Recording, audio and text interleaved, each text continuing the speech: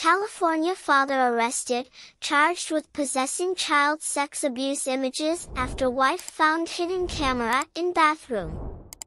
Ryan Rovito, 34, of Redding, was arrested a little over a week after, authorities said, his wife found the hidden camera, which turned up more than 900 images of child sex abuse and several videos. A California father was arrested last week on child pornography charges after, authorities said, his wife found a hidden camera in their guest bathroom that turned up more than 900 images of child sex abuse, police said. Police arrested Ryan Rovito, 34, of Redding, about 160 miles north of Sacramento, on a warrant Thursday, a little over a week after his wife was alleged to have found the hidden camera and handed it over to police, along with a connected hard drive.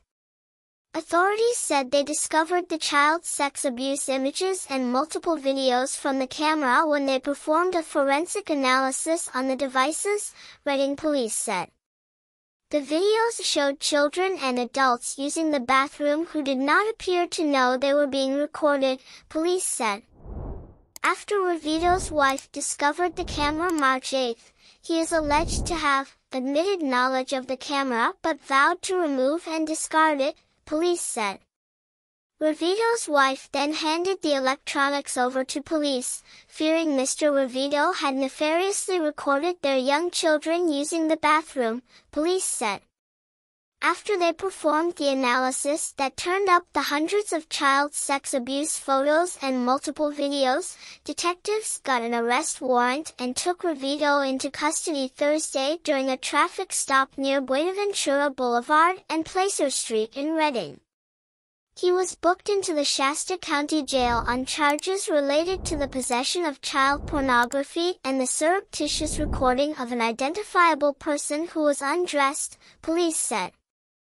As of Sunday morning, his name was no longer listed the jail's online inmate list.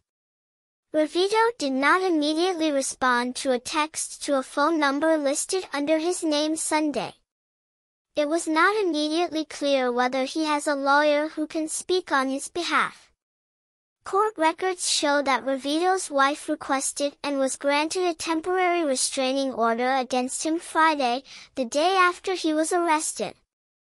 The next court date in that case is set for April 7th, according to court records, which characterize the case as domestic violence prevention with minor children. Rovito's wife could not immediately be reached for comment Sunday.